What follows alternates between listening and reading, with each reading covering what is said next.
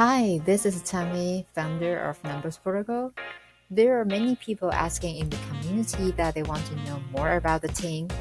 In order to respond to the request, we have designed the Behind the Project podcast. Good afternoon, Kate and JC. It is really nice to have you here um, with us for this podcast.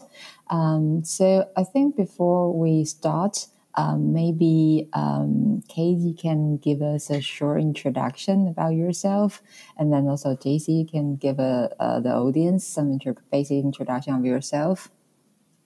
Yeah, sure. Um, hi, nice to meet you, Tammy. Um, my name's Kate Peters. I'm a photographer based in London, and I work um, producing my own series for exhibitions and books, but I also work commercially shooting for magazines and advertising brands. So, kind of my time split between those two fields, really. Um, it's a very interesting time because um, it's now that a lot of um, creators and photographers are exposed to the Web3. So, uh, you're based in London. So, how did you see that trend? There a lot of different photographers and, and now getting into the Web3. I think it's it's starting to become more widespread. I think photography as a medium, I think a lot of people are still fairly traditional in how they approach the medium, but I definitely have seen more and more people kind of engaging with that platform. There's a lot of hesitation, there's a lot yeah. of skepticism, but on the whole, I think it, you know, photography it's a highly innovative field. Um, yeah. And there's always been people pushing the medium.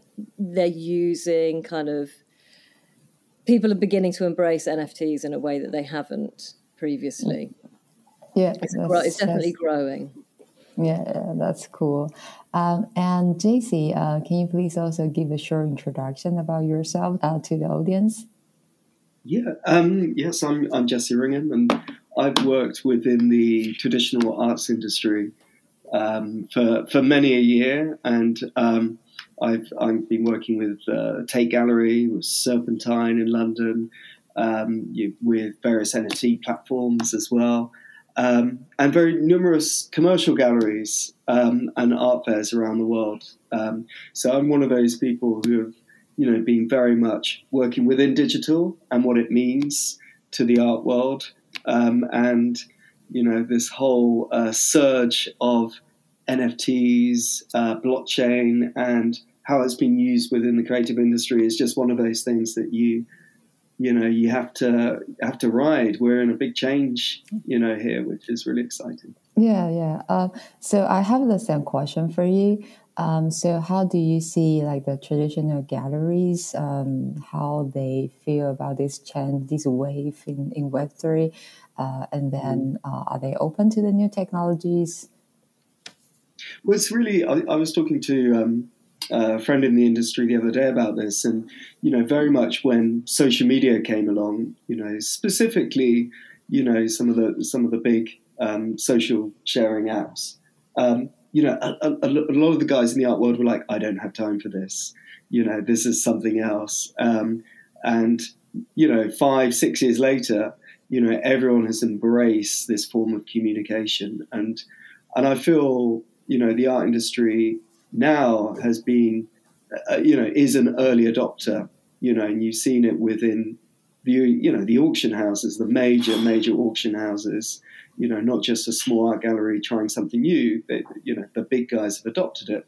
So I, I, think it's it's really I feel very proud of the industry to be one of the early adopters, you know, of of you know of technology of blockchain and what it means for artists. Um, and I, and I think a lot of the galleries out there, you know, that they really realised um, even ahead of the fashion industry, music industry, that you know art is giving artists access. It's um, helping artists pay the bills and and you know cutting out you know a lot of the uh, the in between. And and so it's all about giving back to artists and helping them you know uh, develop uh, what they're doing really. So yeah, it's it's been great to see art world embrace this. Yeah, so um, you um, you talk about uh, social media uh, during your response. Um, so I'm I'm currently actually in the NFT LA, and then uh, one day I talked to a person. Um, he's also um, creators and has his own creations sharing on the social media. And then he said um, he believed that 2022 is going to be the year of the real photography NFTs or real creation NFTs, art NFTs, instead of uh, random NFTs. so you know, a, a lot of which uh, it's very challenging to define them as art or anything, but these are the mainstream in the NFT at the moment. Um, so he, he told me that he truly believes that 2022 is going to be the year where the uh, the artists uh, and the photographers, um, they will uh, just massively come into Web3 and then have their own space and um, choose their own technologies and then uh, embrace this uh, Web3 wave. And how's your opinion on that? Yeah, I would say it's, I think it's maturing so fast as well, where previously it was, you know, uh, quite frivolous and quite you know surface level some of the some of the work going up there now it's expanding and people are testing new skills um, experimenting with data and nfts and and obviously you know within the art world it's all about experimentation. Um, and in in you know in photographic senses as well it's about you know um, access. And i think the, the only hurdle at the moment um, you know uh, for, for many and you know artists and katie actually will probably speak about this is you know, understanding, you know, how to get involved, um, you know, having that knowledge with uh, technology. I mean, a lot of the museums and galleries have just got their head around, yeah. you know, digital and having a having a website team, and now this is, you know, very much obviously the next stage. Yeah, yeah. Uh, and uh, Kate, uh, what's your thought of the digital transformation in the art and photography field? Yeah, I think kind of like Jesse was saying, and I think kind of in sort of agreement to how the sort of the render NFTs sort of were the initial kind of things that have been seen. And I think a lot of photographers didn't really understand that and they didn't really see their place in that world. But I definitely, just on that point, I definitely think there's a big change there and lots of what I would consider kind of more traditional photographers are now embracing that platform and releasing editions. And I think because some of the big names are now up there, other people are thinking, oh, okay, there, there is an outlet for our work to be seen in that context. And I think, kind of, in terms of digital transformation, you know, like it is an innovative field, like that kind of mixing of science and art. And people have always experimented and the medium has evolved with those kind of experimentations, like albeit in the darkroom with Man Ray, or the kind of the Cottingley fairies and the kind of initial sort of image manipulation. And I think digital it's it's become another tool and it's just armed artists with new ways to experiment and to push the medium. And I think kind of like the sort of emergence of NFTs are going to give people another way of experimenting with that digital technology. Um, and I mean, like photography, it, it's always been quite an expensive medium. I mean, like buy, like when it was all analog, buying film, processing, printing, it was quite an inaccessible medium until kind of there was more widespread use of 35 mil cameras. But in this sort of fine art arena, people were shooting large format. The kind of modernist photographers, you know, it was very much trying to echo painting. And I think digital kind of gave people a much easier way into the medium.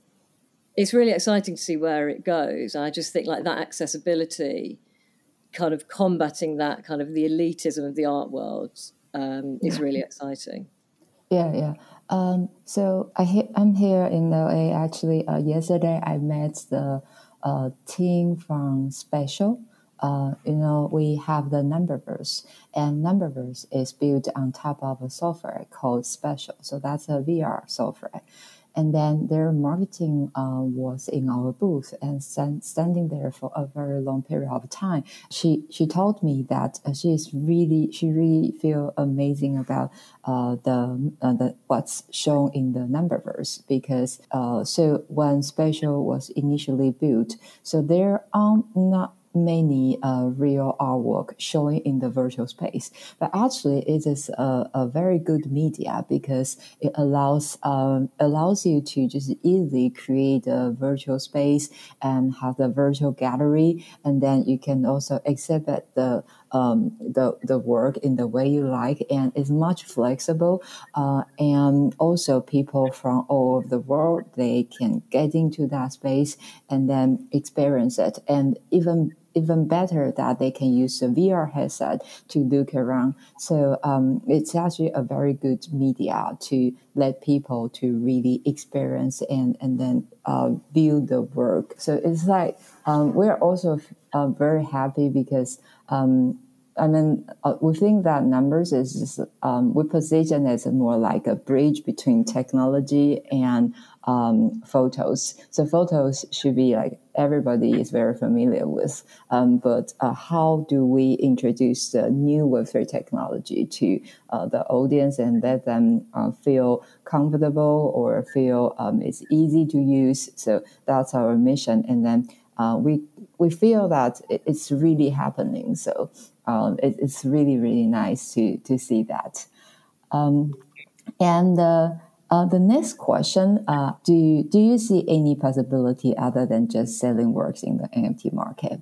Yeah, I mean, I mean, what I've seen is, I think a lot of people from the outside, you know, there is a fear of change, and um, when you don't know anything about the industry or what's going on, you you tend to resent it, and um, you know, um, not saying that I do, but I think there is, you know, there is like a knee jerk reaction to, and I think you know, if you do embrace it, there is so many similarities between, you know, this world, the crypto world, and the art world. And I think one of the things, aside from just the selling, is, you know, there is um, a, there's a really strong sense of community within within this world that, um, you know, uh, Kate mentioned this point about you know elitism in the art world, and you know, it's a tough world to get into the traditional art world. You know, a you've got to have knowledge. You've got to have, you know, be lucky enough to have visited a museum or a gallery or been, you know, invited to one. Um, you know, there's a lot of barriers there. But I think within the NFT, th- th- there is this really beautiful community where people support each other, whether it's on Discord or on Twitter or even on Instagram, which is really interesting. Where you know the community that exists online is now looking at, you know, having, uh, you know, almost like clubs that exist in real life, and so I, I love that and this strong spirit of being a patron. Yeah, yeah, definitely. Um, and then I think different kind of technology, uh, new technology can really bring to um, new experience, and that could be very interesting. And I remember yesterday, um, I I walked around and then I saw DC. Um, so they actually have a very big room uh, showcasing Batman. Yeah, so um, there, there was a small table and there was a guy uh, sharing um, sharing a pack of cards. Yes. So um, what they're doing is um, so they issue uh, many series of Batman cards. Uh, now they add a little QR code, um, so you can download an app and then uh, you can scan the QR code uh, and it will generate NFT automatically and send it to your app. And then also in the app, uh, you can um, you can trade or uh, you can sell the the, the card directly to um, to people around you, uh, and then also there are some games which you can combine the NFT and the physical car together and to play those games. I think that's very interesting, Tammy. I, I, I, I, think this goes back to this like collector DNA, and you get it whether it's collecting stamps, collecting coins. Um, I had a few, you know, American friends when I was growing up, and they would collect baseball cards. They would never open the box; it yeah, would always yeah. remain in the box, untouched, mm-hmm. under the bed for years, because there was this element of collecting and it's a slightly different thing, but uh, you, you, know, this is where these guys have now grown up, and you know, NFTs have that same uh, uniqueness, that value. It's It's um, yeah, yeah. It's, it's, a slightly different side to you know creativity and photography, but uh, it, that that DNA, that gene, still exists. I think. And also, they take up far less space than collecting the physical, physical thing. So your shelves aren't quite as full of like yeah. collectible items anymore. yeah, and, and easily then, stored. Yeah, yeah, yeah. And then yesterday when I saw that, and I uh, first uh, the first idea I had is, oh, that's super cool because the guy explaining it to us like, so you can uh, traditionally can have that car, but now you can not only have that car, you can also have its digital twin, um, the NFT world. And I was like, oh yeah, that's cool. And then I was thinking, so what if I trade the car through uh, trade the NFT through the app, but I don't give uh, people the physical car. and, then does that uh, count as a, a, full transfer of the ownership of that item or not, or only like half? So yeah, so there are also some very interesting questions. Um, so Kate, how do you think about like um, any possibilities other than just selling the work? Um, what's the potential of the NFT do you see? I think again to kind of echo Jesse, like they've really enabled kind of wider access to collecting. I think for artists in kind of what is or can be considered like a, an elite or closed industry, and I think like the creative industries in particular, and like the art world, it can seem really inaccessible and it's difficult to break through like the already established hierarchies, like get access to the gatekeepers. And I think for a practitioner, that's really disheartening or can be kind of a stumbling block. And I think that kind of the NFT platforms, like they, it, it looks set to disrupt that in a way and kind of it's leveling out the playing field. And I think that sort of put a lot of people's noses out of joint that suddenly you don't have to be with a big gallery to sell work. Yeah. And I think I think that has what have made people doubt it in a way. Like you you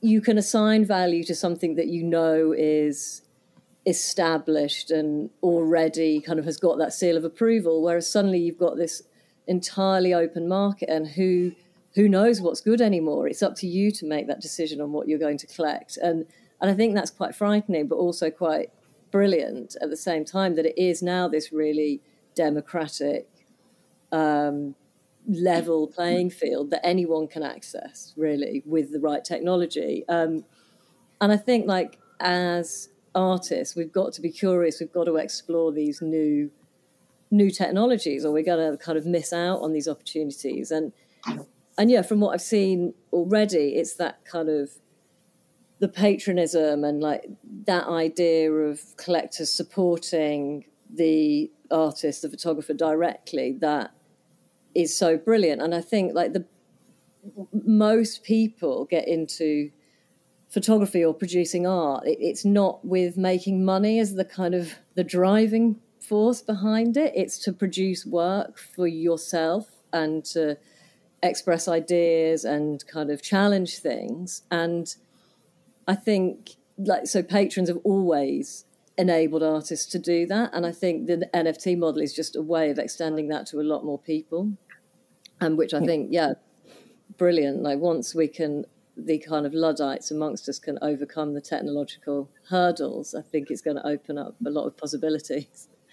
Um, I have an extended question for Kate. So, um, uh, as we discussed earlier, so NFT actually create a permanent uh, connection between the buyer and the creator. So, um, if um, besides licensing the buyer um, with some rights to use your work, so what kind of relationship you think could be interesting. Um, so after you sell an NFT to someone and have that connection, I think like if you're releasing work early on in a series, maybe like you might put something out to kind of test the water and see mm. how it's received. And I think then as that series of work progresses, like having that ongoing dialogue with someone could be really nice. And also kind of releasing one of a set and then kind of more over time like you can kind of a kind of the, the or the collector can kind of go on that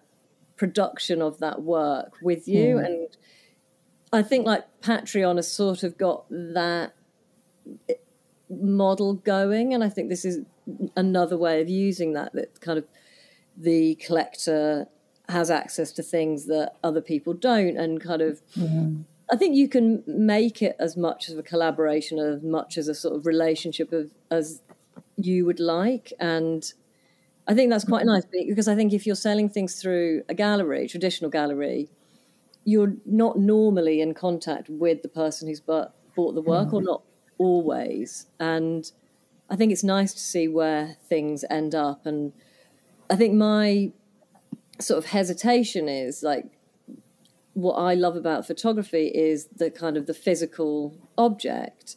Yeah. But I think, like you were saying with the DC cards, you you've still got the option of having that. So I think then discussions like if people want to print the work, you could then be advising the the owner of the NFT kind of where best to do that and like still kind of maintaining a bit of creative control. Yeah, I think um yeah, so um um, during um, while you were uh, responding to the question, I was thinking, so yeah, so def- we, we could um, probably like um, designing it in the way that um, so the NFT uh, the NFT collector they can have the access to the future work at when it's at the early stage. So it's like open to um, the collector who already love your work, uh, and then they can see it um, when when it's at the early stage, and then maybe even have some engagement with the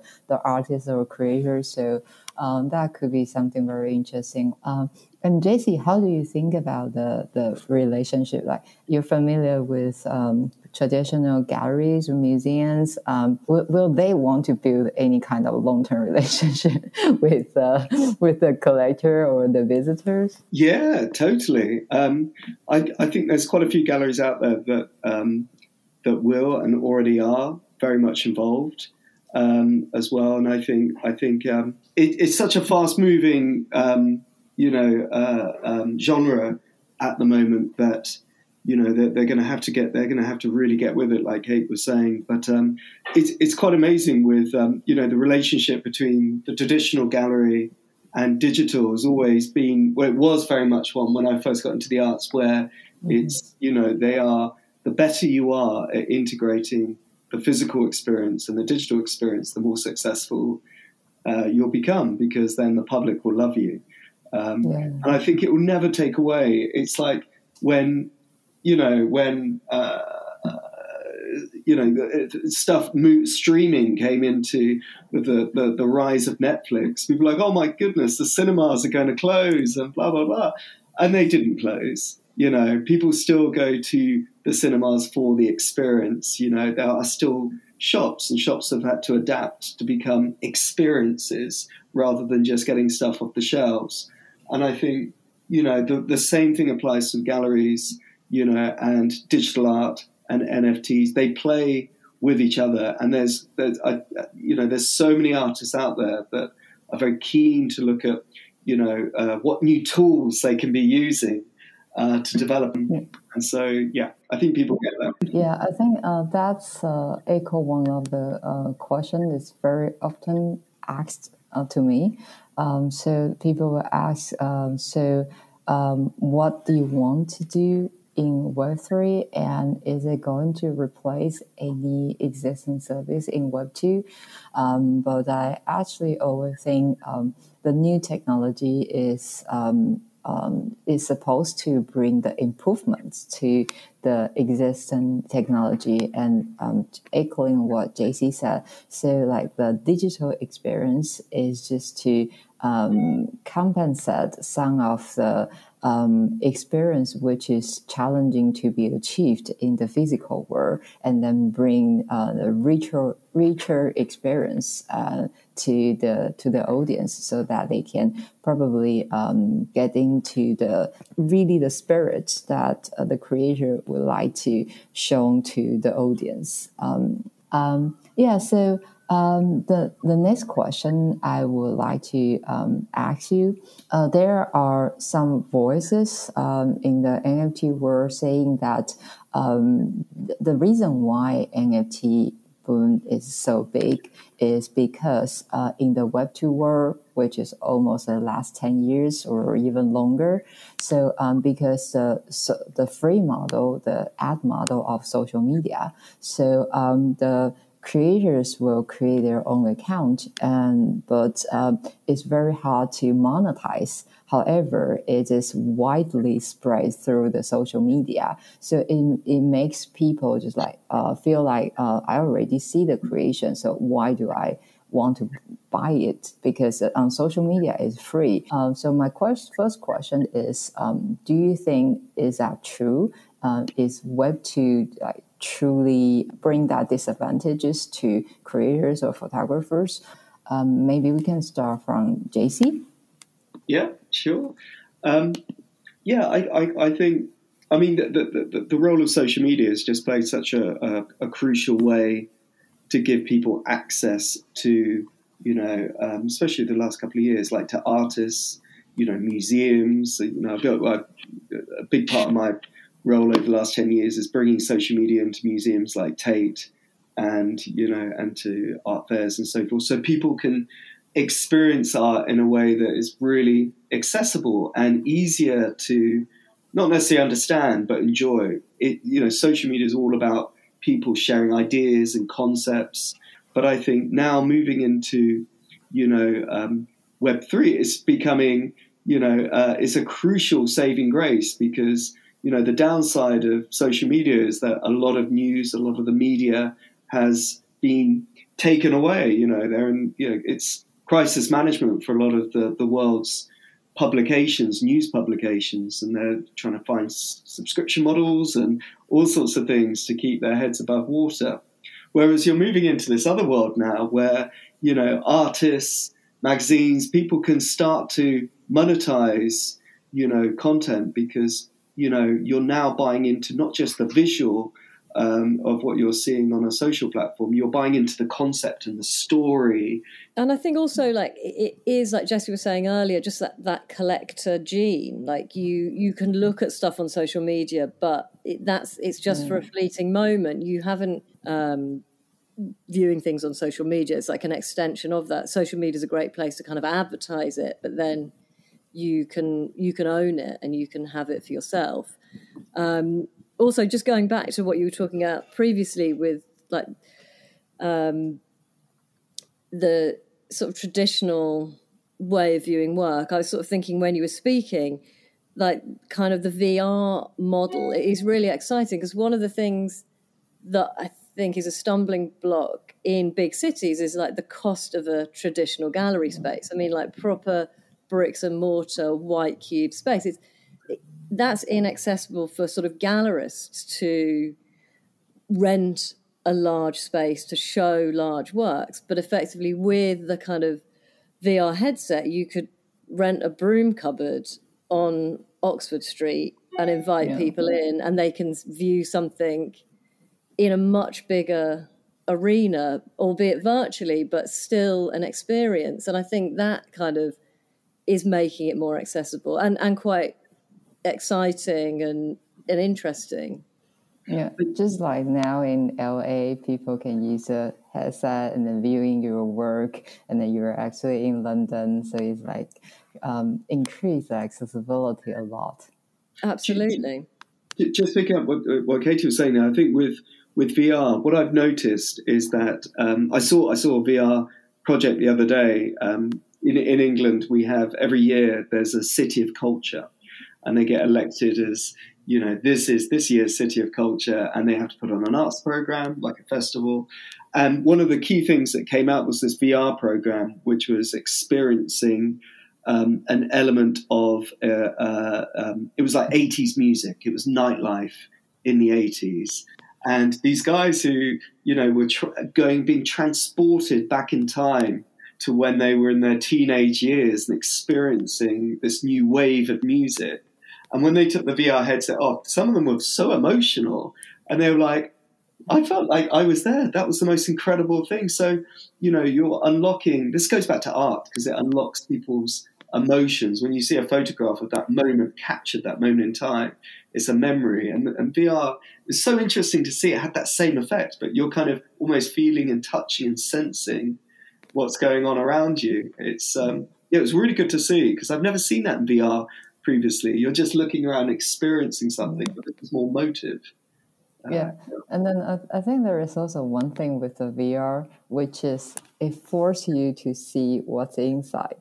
Um, uh, uh, only that well, only that environment. I mean, just like uh, even though if you visit a physical gallery or museum and then look at the creations on the wall, but still, um, you know, you can chat with friends, you can um, just uh, use your mobile phone, and then um, so it's still distracting. But the VR headset just force you to stay inside and then really look at the uh, the work showing there. Um, so that's also um, some um, very different experience than the physical gallery. Yeah. Yes, very true. Yeah, much so, more uh, intense. So um, the the last question I have is um, so we of course talk, talk about uh, a lot of um, positive impact uh, potentially uh, may have in the Web3 world um, how the technology can increase the engagement and so on. But um, all the uh, technology also has its uh, dark side. So, is there anything uh, like in the Web3 technology which you think potentially you feel worried about? Yeah, I, I, I think, you know, we are very much going into the world of unknown and you know, and and that brings an element of fear and not being in control. Um, you know, technology comes with a lot of responsibility. Um, it's moving very, very fast, and we're seeing in the US, especially, you know, within politics, people are getting very scared of the rise of such powerful uh, tech data giants. You know, so it comes with a lot of responsibility. Uh, you know, to try and keep up with that speed. So that is scary for a lot of people. You know how you know how information is distributed you know what you can trust what you can't you know the big thing around fake news is that real image is that not so i think i think things like that are you know scary for a lot of people so having a solution there where it is you know guaranteed to be unique it's trusted it's you know it's you know utilizing elements of the blockchain you know using tech for good is is is the most exciting thing there, really. So, you know, but there is also, like you were saying, Tammy, there's always the dark moments when you're going into a new phase of, of, of, of technology, of development. Um, but I'm, I'm one of those positive things. There's always light at the end of the tunnel. You know, there is this, you know, the great thing about blockchain, you can track, you can trace, you know, you can, you, it, it always goes back to something that is unique, uh, whether it's a, you know, an address on the blockchain or it's a particular person. So yeah yeah yeah i'm also the person i always think the optimistic side so for example you mentioned about the fake news misinformation problems. Um, a lot of audience probably already familiar with that. Uh, that's also some uh, issues that numbers was trying to address. Um, so for example like in, in the uh, in internet 1.0 internet 2.0 um, so it opens uh, a world where um, you can uh, talk to people everywhere, not limited to the time, the location, and so on. Um, but um, it also um, uh, it also creates a problem such as uh, misinformation on the internet because now so traditionally only the news media can um, they will check and then research and then probably uh, publish the news but then uh, when you can you are able to deliver the uh, information from anywhere to uh, anywhere globally and um, that information may lack of check or even spread intentionally um, and then try to spread the, the misinformation online. Um, but then eventually there will be new technology. So, for example, like uh, what we're trying to do to um, make sure the um, the photos are traceable, verifiable, so that uh, when it is delivered, and you will be at least able to trace its history and when it was created. So uh, images on the internet is not just an image, but an image with a rich history. So um, that's also something, um, a solution which only the technology can provide. So just like technology, new technology always uh, create the positive side and the dark side and always bring the new problems, but then we will continuously evolve and there will always be uh, new tech team to find new solutions uh, for the for the existing problems. Um, yeah, I think just jumping yeah. on that point about kind of some of the the problems and i think from what i discussions i've had because it is such a new technology and things are being developed all the time i think people's worry are that but like is this going to still exist like what if that developer no longer updates that code i mean i don't know enough about it and like so you've you've bought something you've collected something and then the technology no longer exists for you to access it and i think that's one of the kind of conversations that people aren't understanding. But then comparing it to sort of traditional art market, like works of art are like fragile, like a, a photograph can fade if it's not kept in the right conditions. It's it's a piece of paper effectively that's perhaps less um, stable than than kind of an NFT. So I think kind of that that argument is slightly void, but I, I don't know. Yeah, I think that is one of the hesitations that because it's so new, and I think you hear a lot about kind of newer tech companies coming in doing these amazing things, particularly within kind of the um, medical profession, like developing these new things that can cure something, but then they've gone yeah. bust in a few months. So these people are left. They had this hope that something could save them, and then yeah it's sort of swept from underneath them. And I think it's just yeah that that slight kind of not having mm. complete faith in is this is this going to still be around if I invest my yeah. money here if I if I collect these things or am I still going to be able to use them in a few years time I think that is one of the main kind of concerns. Yeah. Yeah, yeah sure.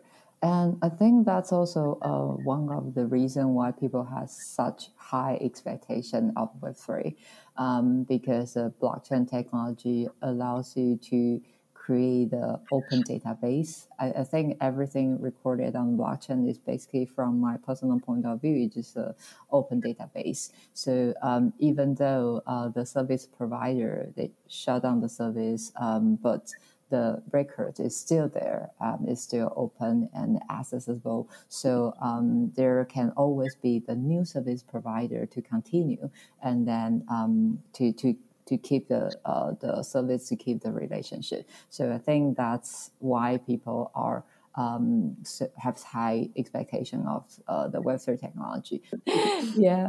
Um, so I, I, think that's all the questions I um, I have for today. Um, so it's really really nice to um, to see you. Um, I, I, I, actually I was uh, about to say see, nice to see you in person finally. But then I realized, no, it, it's just a remote podcast. but now it's like, yeah, too familiar with the tool. So like meeting online, just like meeting in person already. Um, but anyway, um, yeah, so um, it's, it's really nice to invite you to participate in this podcast. And thank you very much for uh, sharing the information to the audience. Thanks so much for having us. Yeah, it's been a really interesting conversation, learning lots all the time. So thank you for inviting me. Thank you very much indeed. Thank you, Tamara. Yeah, thank you.